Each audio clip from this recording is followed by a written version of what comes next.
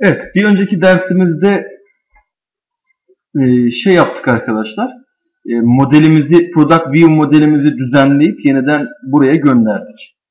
Fakat daha önceki projede de gösterdiğim altyapıyı biz burada nasıl sağlarız? Yani sağ alt kısımda sayfalama linklerini nasıl oluştururuz? Ee, siz de biliyorsunuz ki MVC Framework Web Forms gibi işte kontrolleri içerisinde barındırmıyor. Yani şurada göründüğünüz görüntü, gördüğünüz görüntü nasıl oluşturulacak? Yani bildiğiniz üzere MVC Framework'te e, kontroller yok. Bizim bu tasarımı yapmamız gerekiyor. Yani bir kontrol üretir gibi bir mekanizma yapmamız gerekiyor. Dediğim gibi genellikle genellikle siz bunları kendiniz yazmazsınız. Bunları hazır yapan araçlar var. Çok da güzel yapıyorlar. Yani birileri yazmış bizim için oturmuş yazmışlar. Paralı ya da parasız satıyorlar. Bulabilirsiniz. Fakat biz işin aslını öğrenmeliyiz dedik ya. Yani biz işin altyapısını öğrenmeliyiz. Yani bu alt tarafta nasıl çalışıyor? Bunu öğrenmek adına biz burada bir mekanizma üreteceğiz. İşte bu tarz bir mekanizmayı, sanki bir kontrol gibi bir mekanizmayı Page Helper dediğimiz e, bir mekanizmayla çözüyoruz. ASP.NET böyle bir altyapı sağlıyor. MVC Framework böyle bir altyapı sağlıyor arkadaşlar. O zaman hepimiz e, uygulamamızın MVC tarafına gidelim. Uygulamamızın MVC tarafına gidelim. Nedir uygulamamızın MVC tarafı? Şurası.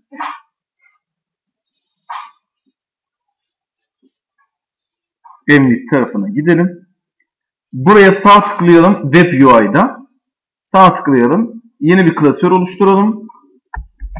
Bu arkadaşın ismini de HTML Helpers bırakalım. Onun da üzerinde sağ tıklayıp Add New Item diyelim. Bu da sayfalama yapacak ya. Paging Helpers nokta cs olsun. Kontrolün klasını. Class. Tabii ki class. Şimdi peki bu helper dediğimiz olay ne? Şimdi arkadaşlar herkes buraya bir bakabilir mi? Arkadaşlar HTML üzerinde pardon MVC Framework üzerinde hazır aslına bakarsanız helper'lar var. HTML nokta bakın mesela action link, action mesela checkbox bunları yapabiliyorsunuz yani. İşte editör drop down list mesela label, listbox, password, radyo buton bunlar var.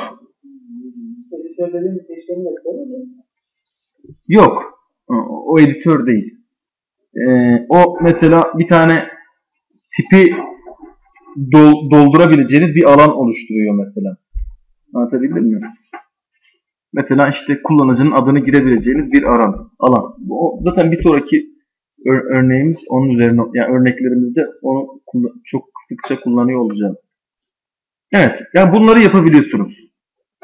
İşte biz de arkadaşlar şunu istiyoruz. HTML nokta dediğimiz zaman bu mimariyi duydunuz mu hiç? HTML nokta deyince mesela pager dediğimiz zaman pager dediğimiz zaman sayfalayıcının o sayfa butonlarının çıkmasını istiyor, istiyorsak yani buraya geleceğiz pager diyeceğiz. Bu bize pager oluşturacak. Tamam mı? Ama pager diye bir şey yok. Evet. Ama HTML zaten yazılmış.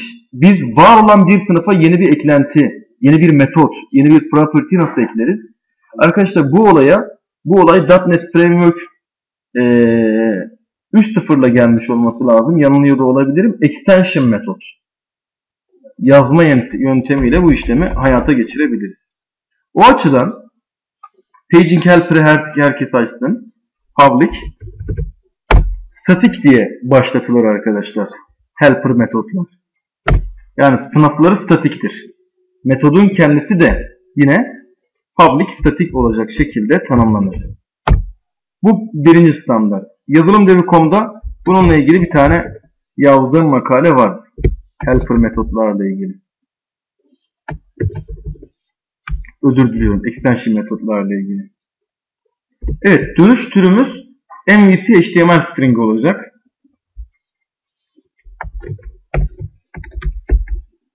Page links ya da pager mesela dedik. Pager verelim. Evet burada bir standart daha neyi extend edeceksek onu yazıyoruz.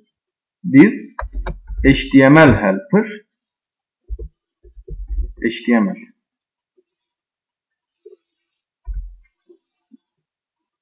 Sonra arkadaşlar biz burada hani sayfa bilgilerine falan ihtiyaç duyacağız ya. İşte kaç tane eleman var gibi bilgilere ihtiyacımız var. O da paging info'yu buraya çekebiliriz. Bunu o şekilde yapıyoruz. Hani view'a gönderdik ya. Paging info diye bir şey. Onu burada kullanacağız işte. Şimdi arkadaşlar. Ben size yazmanız için bir süre vereyim. Bir beni dinleyin isterseniz.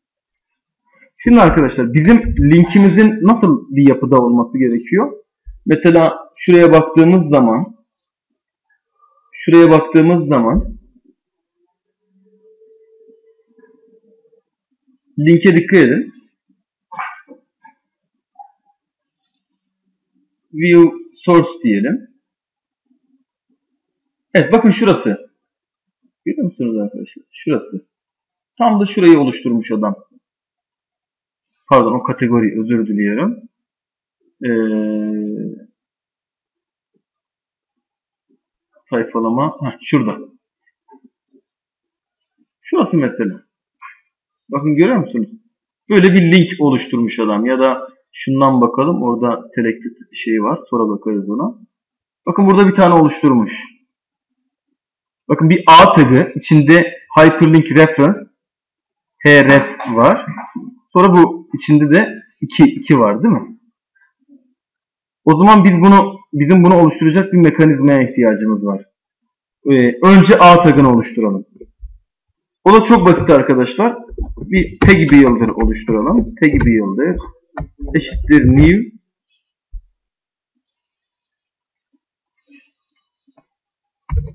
tag builder diyelim. Ne için oluşturacağız? A tagini oluştur diyoruz. Burada. Bu arkadaşımıza diyoruz ki A tagini oluştur.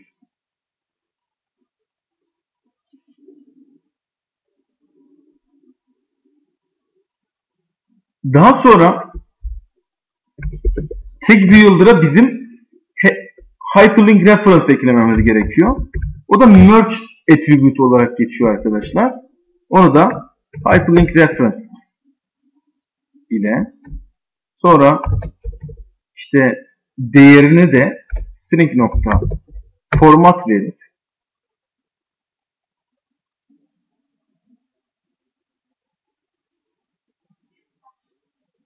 direkt olarak şimdilik şöyle page'den gidelim. Page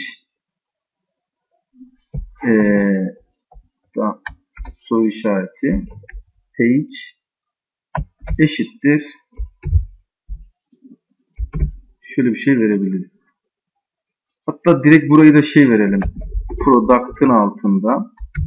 Sonra bunu dinamikleştirebiliriz arkadaşlar. İlla product için olmasın. Her şey için paging yapabilelim diye. Bu arkadaşıma kaçıncı sayfada olduğunu göstermek adına paging info nokta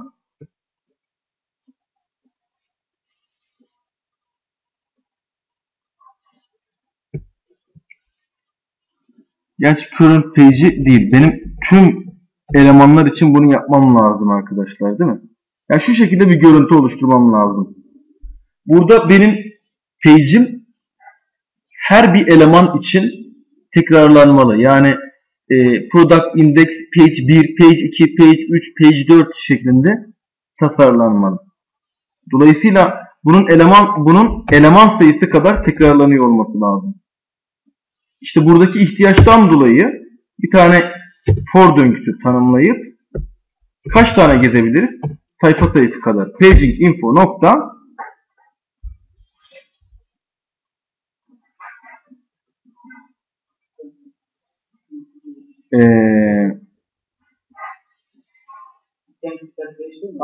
total items bölü ne olur? Items per e, paging info nokta items per page. Olmaz mı? Çünkü toplam sayfa sayısı nedir? Toplam eleman sayısı bölü toplam eleman sayısı bölü e, her bir şeyden gelecek her bir sayfada olacak eleman sayısıdır. Ama bunu bizim e, şeye kastetmemiz gerekiyor. Aksi takdirde çünkü şu an integer'dan dolayı e, şey yapar.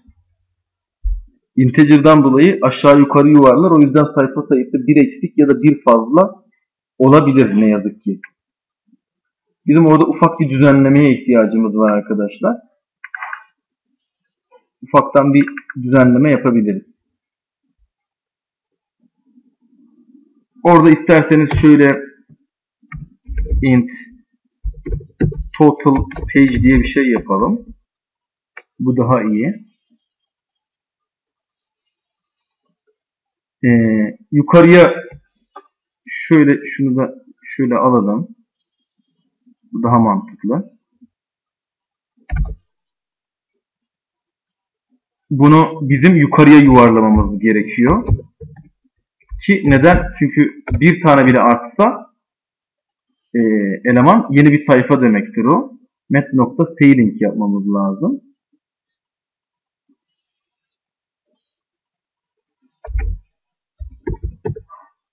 Integer değil desi- desimal çalışması için e, bunu verelim. Ve son olarak dönen sonuçta desimalden dolayı onu da tekrardan int'e çevirelim. Bu arkadaşımı da total page diyelim. Evet. İlgili tasarım e, şu an yeterli bizim için.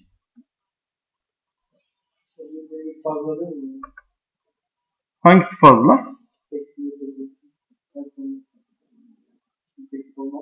Burası mı? Fazla çünkü for döngüsünün içine koyacağız ya bunu. Tek tek oluştursun diye. Dolayısıyla buraya şimdi bir i koyabiliriz. Artık i koyduk.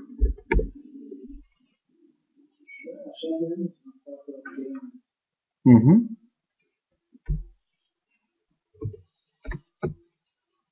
Şöyle bir şey yapabiliriz. Daha sonra e, bakın A tagini oluşturdu. Hyperlink reference'ı oluşturdu. Linkini verdi. Şimdi görünecek değer. Yani A tagının içi. Şu, şu kısım yani. Geldi. Arkadaşım geldi. A'yı açtı. Hyperlink reference'ı verdi. Adresi verdi. Kapattı. Buraya bir gibi bir şey yazması lazım. Buraya A'yı kapatması lazım. Yani şurası kaldı arkadaşlar. Dolayısıyla burayı da tag builder nokta inner html ile verebiliriz. O da görünen değeri i nokta string diyerek bu arkadaşımı oluşturabiliriz. Evet.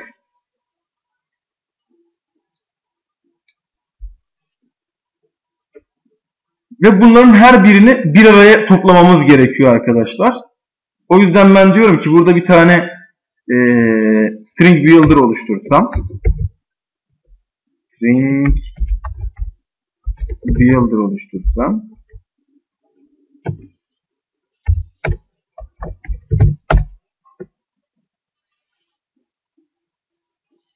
E, string builder'a da bu arkadaşımı eklesem. E, bu arkadaşımı eklesem tag builder'ı efendim en sonunda da return MVC HTML string'inin static create metodunu kullanarak string builder'ı bu arkadaşıma versem işlemi bitirmiş olurum.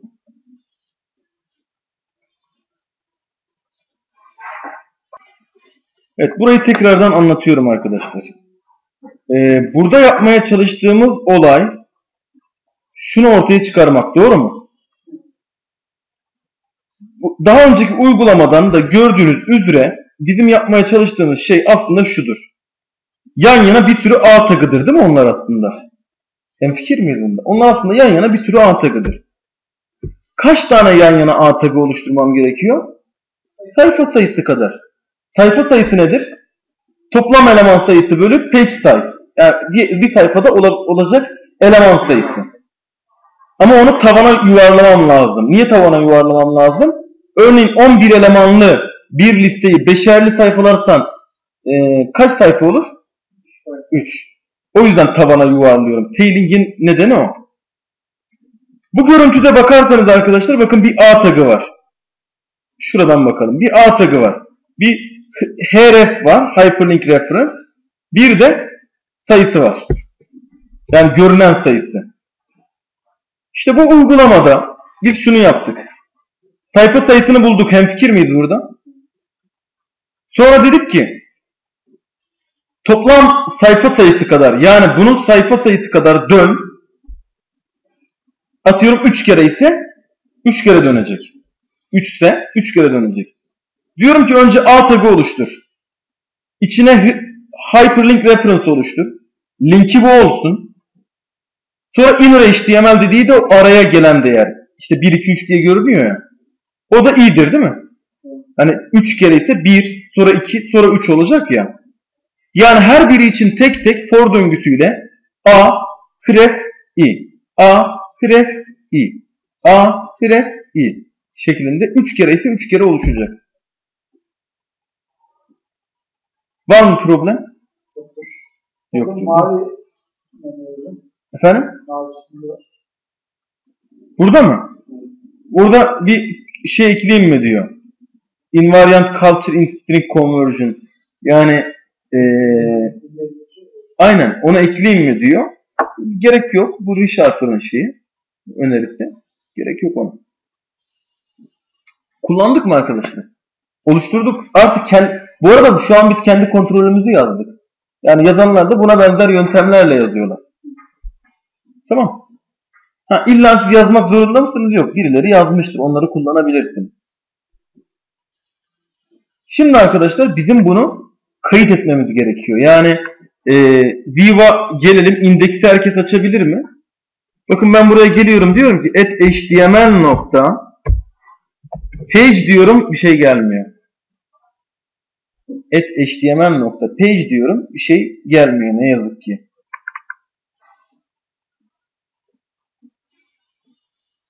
Doğru mudur? O zaman herkes helper'ı açsın arkadaşlar. Oradaki namespace'i kopyalayalım. Bunu kaydetmemiz gerekiyor. Namespace'i kopyalayalım. Çünkü kaydetmemiz gerekiyor. Kopyaladık mı? Namespace'i. Bu di- şunu diyeceğiz. Yani bunu da kaydet helper'ların içerisine dememiz lazım. Bu MVC Framework ile ilgili bir şey. Kopyaladık mı? Bunu gelip e, view'ların altında view'ların altında view'un kendi web config'i vardır arkadaşlar. View'ları yapılandırmak içindir. Bakın iki web config var. Biri genel, biri view'un. Bakın view'un kendi web config'i. Açın onu. Bakın buraya kayıt yapacağız. Diyeceğiz ki et namespace. Hangisine?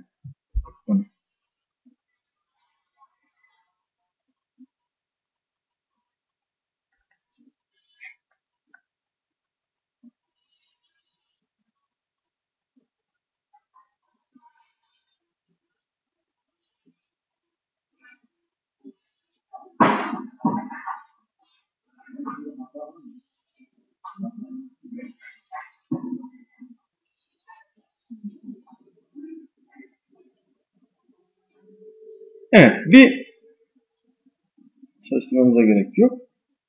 E, hata mı aldınız? Hemen bir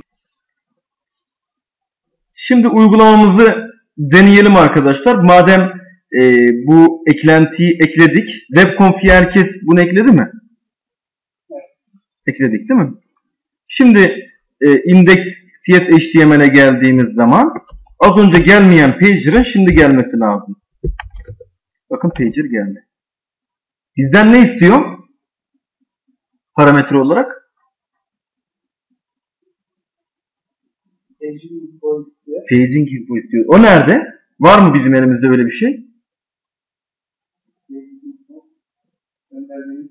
Var. Modelin içinde yok mu? Model nokta işte gönderdik. Bu kadar. Çalıştıralım sonra. Hemen ardından çalıştıralım.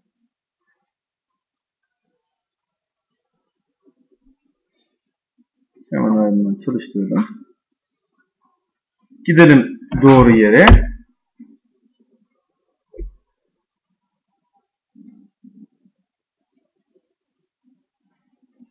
Evet bakın. Geldi. Sayfalar görüyor musunuz? Değişiyor. Mesela sıfırdan başlıyor tabi. İkinci sayfa. Üçüncü, dördüncü, beşinci, altıncı, yedinci şeklinde gidiyor.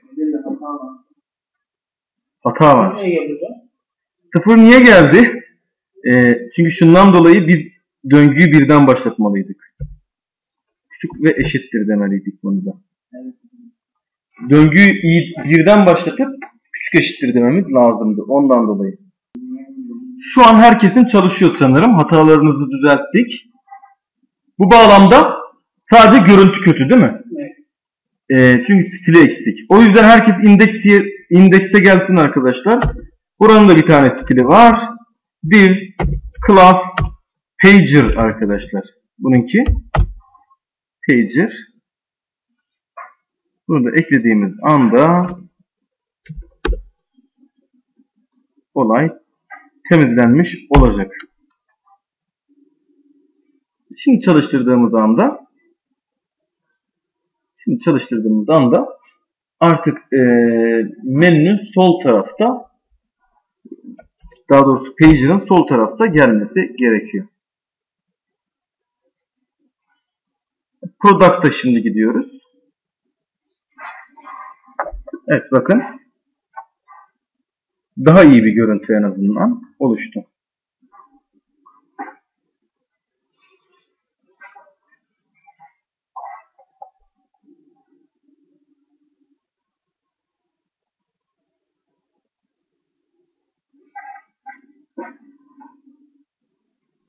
Evet şimdi şeyi yapalım arkadaşlar.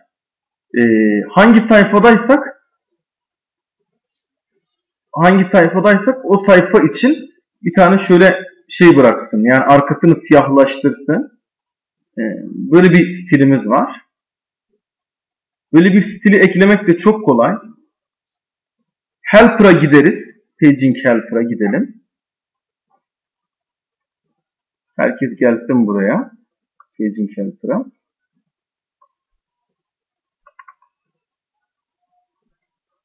Yapacağımız şey çok basit arkadaşlar. Burada stil de ekleyebiliyorsunuz. Diyorsunuz ki eğer paging info'nun current page'i eşit eşittir. i ise yani i'ye eşit ise tag builder nokta add css class. Yani bu tag'e selected isimli CSS ekle. Bu da böyle bir stil de var arkadaşlar. Yani o da çok basit. Bir e, tag'e istediğiniz zaman stil de ekleyebiliyorsunuz bu şekilde. Bu da bizim e, seçili olan sayfamızın arkasının siyah olacağı anlamına geliyor. Şu an herkesin çalışıyor anladığım kadarıyla. Evet. Şimdi sırada sol tarafa kategorileri getirmek kaldı.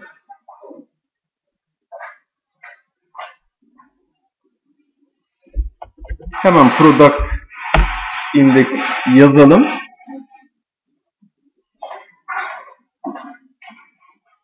Sol tarafa kategorileri de getirip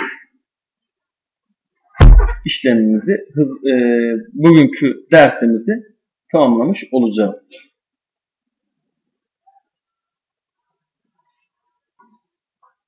Evet. Şimdi kategoriler bizim Northwind'de kategori tablosundaydı. Categories tablosundaydı. Dolayısıyla bizim Northwind'deki Categories tablosuna bağlanıp oradan ilgili kategorileri listeye dökmemiz gerekiyor. Bu açıdan hemen hepimiz Data Access Layer'a gidiyoruz. Entity'lerde kategori vardı. Sadece ID'si ve name'i. Abstract'ına gidiyoruz. Bu aynı zamanda bizim şu ana kadar yaptığımız mimarinin de tekrarı gibi bir şey olacak arkadaşlar. Add class diyelim. Sınıfımızın ismi neydi? Kategoriydi. I kategori dal olmalı o zaman bu. Bunun interface olduğunu da kaçırmayın.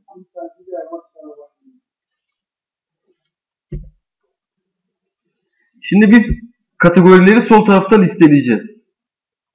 Doğru mu? Bu aynı zamanda bizim yaptığımız mimarinin tekrarı olacak. Kategorileri, ko- kategorileri sol tarafta listeleyeceğiz. Dolayısıyla veri tabanına bağlanmamız lazım.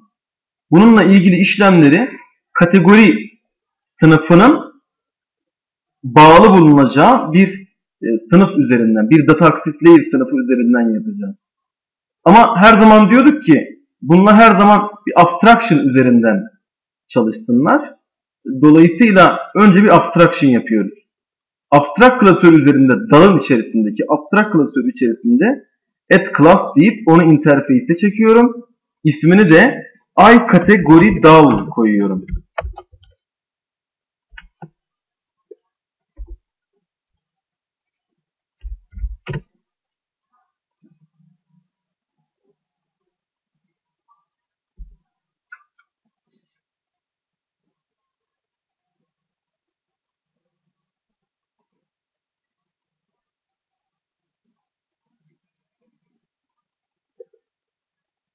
Ay kategori dal diyelim.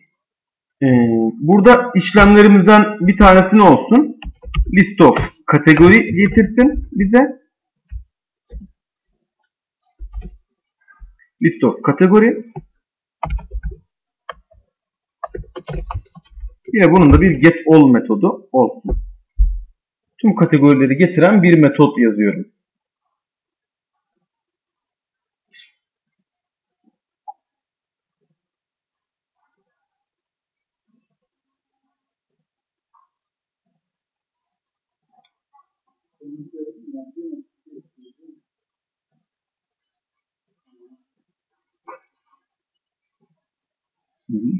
Eklediniz. Entity Framework ile kodla- kodlama yapacağız. O yüzden Entity Framework klasörü üzerinde yani Concrete'in içinde Entity Framework klasörünün içerisinde add class diyorsunuz arkadaşlar. Sınıfımızın ismini if kategori dal koyuyoruz. if kategori dal.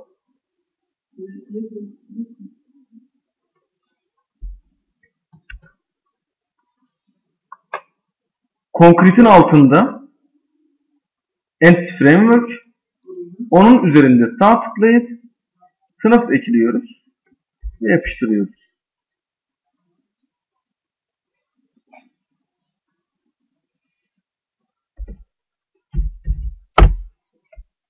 Bunu da public yapıyoruz. Kimden inherit edeceğiz arkadaşlar? Süper. Ay kategori daldan inherit edeceğiz. İmplementasyonunu da unutmayacağız.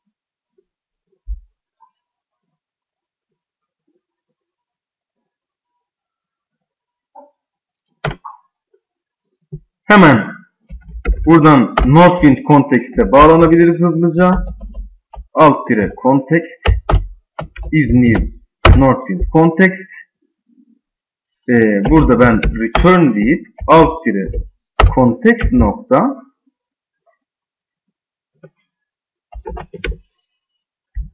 categories deyip kategorileri return etmeliyim.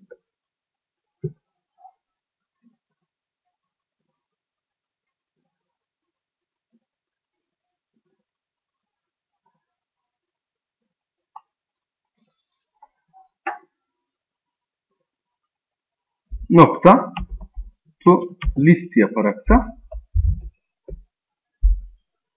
bunu listeye çevirebilirim. Elimizde kategoriler yok değil mi? Northwind Context'in içinde kategories olmadığı için böyle bir problemimiz oluştu.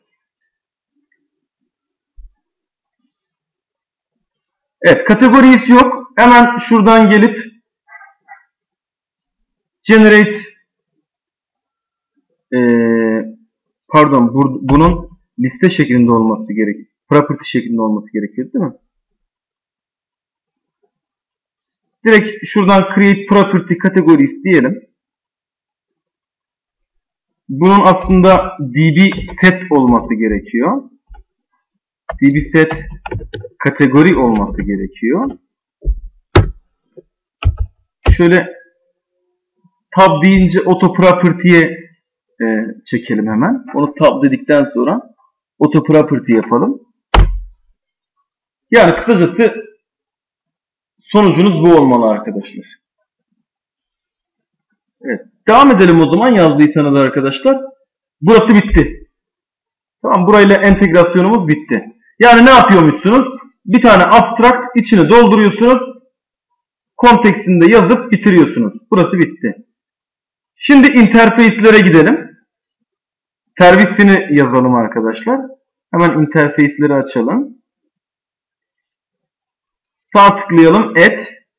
Class diyelim. Onu interface'e çekelim. Bu arkadaşın ismini de I ne demeliyiz arkadaşlar? Bir daha. Servis oluşturmalı değil mi?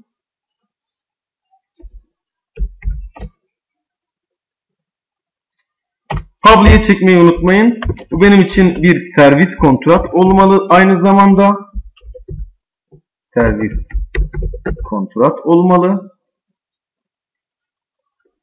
Ve ben diyorum ki bana tüm kategorileri getirecek bir servis yaz. Get all demişim ben buna. Bu arkadaşım da benim için bir operation kontrattır. Ve interface'imi de tamamlamış bunu.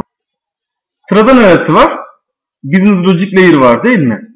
Concrete'ine gelip burada ne veririz? Et class diyelim. Kategori Manager. Bu bir class.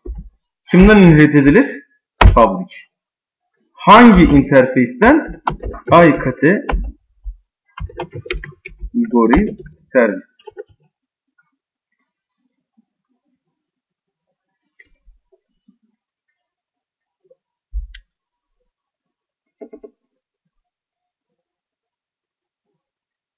bu arkadaşımın bağlı bulunduğu bir e, dal olacaktı hatırlarsanız. Alt dire kategorik dal diyorduk. Bunu yapınca şöyle initialize ediyorduk hatırlarsanız. Burada yazmamız gereken kod alt dire pardon return alt dire kategori dal nokta get all bizim için yeterli olacak. Sırada neresi var arkadaşlar?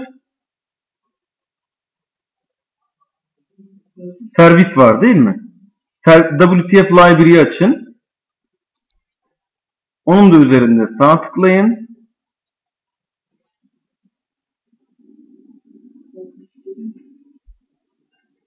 Evet, Concrete'in üzerinde sağ tıklayın. Ya da şöyle yapalım mı? Servisleri en son zaten servisle ilgili başka çalışmamız olacak. Şimdilik BLL'den çalışır gibi yapalım uzatmadan. Servisler daha sonra çünkü başka bir çalışmamız da olacak. Proxy falan oluşturacağız. O sonra olsun. Oldu mu? Burayı iptal ederim. Ser servisi daha sonra devreye geçirelim. Zaten bir tane örneğimiz var en azından. Evet. Şimdi o zaman WebUI'ye gelip WebUI'ye gelip arkadaşlar e, sol tarafta kategorinin e, gösterilme sürecine başlayabiliriz.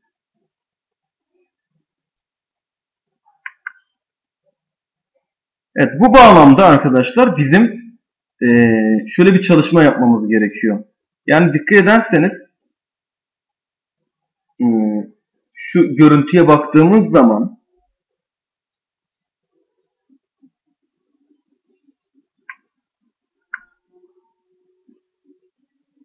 Evet. Görüntüye baktığımız zaman sol tarafta kategoriler görünecek.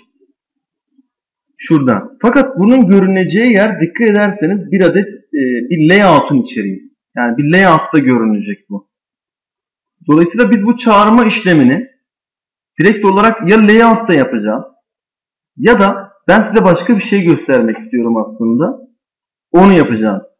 Hani ASP web formlarda user kontroller vardı hatırlar mısınız? O user kontroller gibi siz de kendi user kontrollerinizi burada yapabiliyorsunuz. Yani user kontrol gibi. Bunlara partial view deniyor. Parçalı view deniyor. Tamam mı? Şimdi biz bu şekilde olayı tamamlamaya çalışalım. Ee, bunun için hepimiz e, bir tane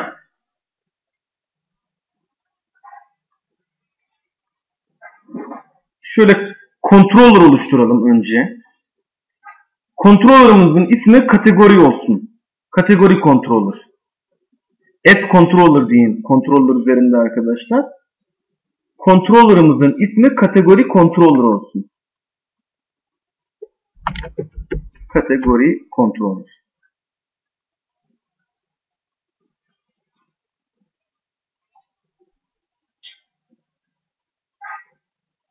Bu arkadaşım da ay kategori servise bağlanıyordu hatırlarsanız. Alt dire kategori servis.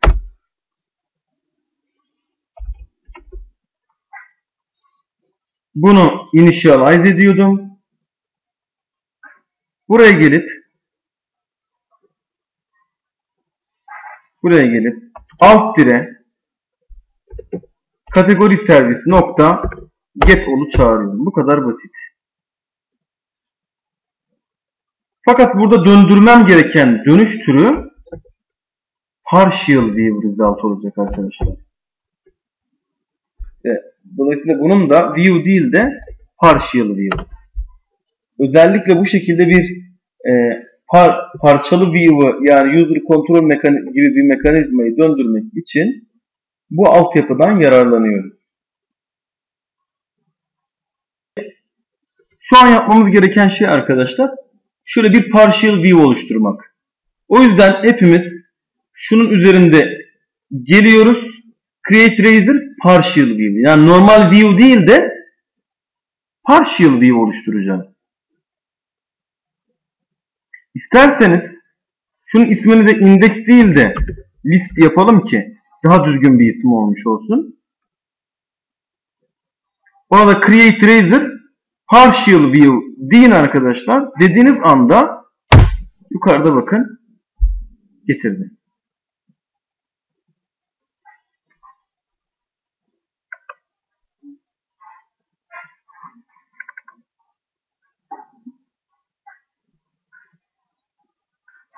Evet şimdi burada her bir elemanı bu bir liste çünkü for ile gezebiliriz. For each diyeceğim. For each var kategori in modeldeki tüm kategorileri dön. Onlar için bir tane HTML nokta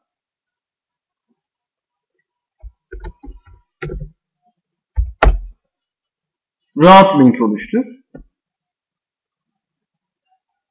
İsmi kategori nokta kategori name. Bu arkadaşlar link oluşturmaya yarayan bir helper metottur. Rahat link. Kategori nokta bu görünen ismi. Sonra bu nereye gidecek? Yani URL'ini oluşturuyoruz. New diyoruz. Diyoruz ki senin e,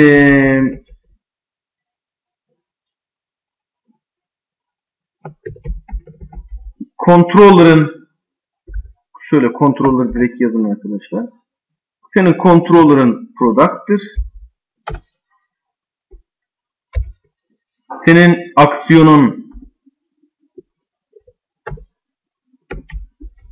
aksiyonun senin indekstir. Yok, production indeksine.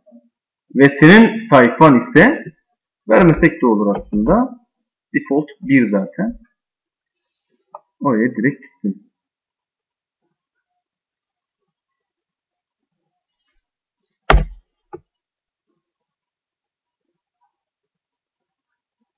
Evet, bakın burada bunu oluşturmuş olduk.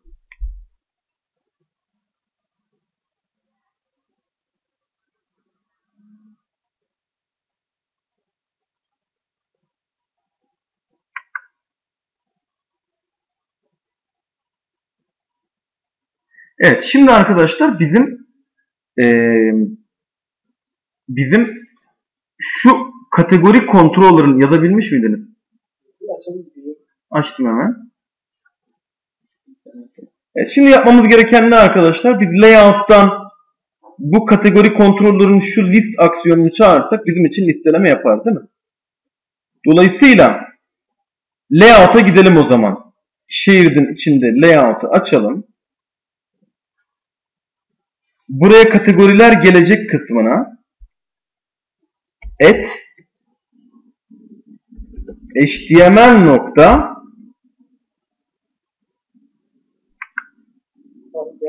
yok render action diyerek bir aksiyonu hayata geçirebiliriz. Neydi ismi? List miydi? Neredeydi bu? Kategorideydi değil mi? Yani şunu diyoruz arkadaşlar çok basit. Ee, kategori controller'ındaki list aksiyonunu benim için çalıştır. O da zaten bir e, user control mantığındaki o partial view return ediyordu ya. Ondan dolayı bu şekilde bir kullanım mevcut arkadaşlar.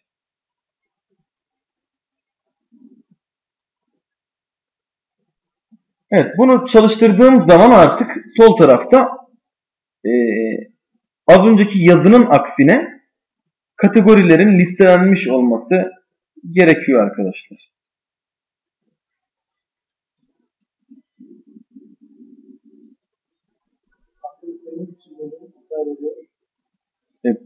Küme parantezi içine almamışsınızdır. Hemen bakıyorum. Bakalım sol tarafa ne olacak? Yani noktalı virgülünü bırakmamışız tabi. Hemen şurada. Burada bir noktalı virgül var arkadaşlar. Bazen ben bazen mu oluyor? Altındaki şeyleri noktalı virgül yazmıyor. Hı hı. Bazen kabul edip. Tek metot ismi olduğu zaman evet ama birden fazla işte bir sınıfın bir metodu parametreli falan girişlerde e, küme parantezi içine almak gerekiyor. Yani bir blok gibi kullandığımız için.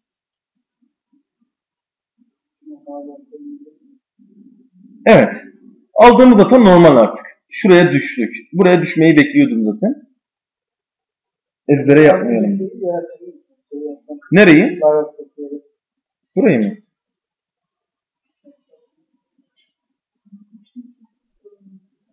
Burada da yine tanımladığımız gibi geçip e, Aynen. Değil mi? umduğumuz olup olmadığı değerinde. Orada da Ne geleceğini bilmiyor yani. bilgin bilmiyor. Controller controller e, ka- ko- kategori controller e, ay kategori serviste ne olduğunu bilmiyor. Ecekte sınırımız lazım. Aynen. Siz bunu yaptınız, şunu yazdınız mı? Şuraya bak bir parantez burada, bir parantez burada. Evet, hataya aldığımız yer Ninja Controller Factory'ydi değil mi arkadaşlar? Bizim çünkü binding'i yapmamız lazım bir daha. Geliyorsun. Ay kategori servis. Olur da birisi senden ay kategori servis isterse ona kategori manager'ı ver. Ve onun içerisinde de senden bir kategori dal istiyor olacak o. O adama da if if kategori dalı ver diyorum. Olay bu kadar arkadaşlar. bitmiştir diyebiliriz. Evet, bunu çalıştırdığımız anda sol tarafta artık kategorilerin gelmesini sağlayabiliriz.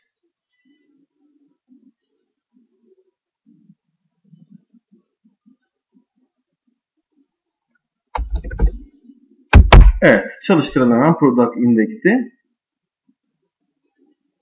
Evet, sol tarafta menümüz geldi. Bu da çalışıyor. Burada sadece hangi kategorideysek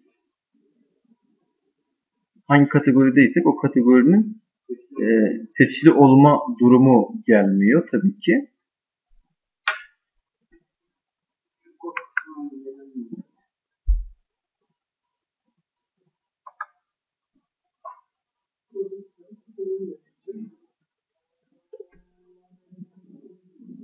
Evet. Bugünlük isterseniz burada bırakalım arkadaşlar.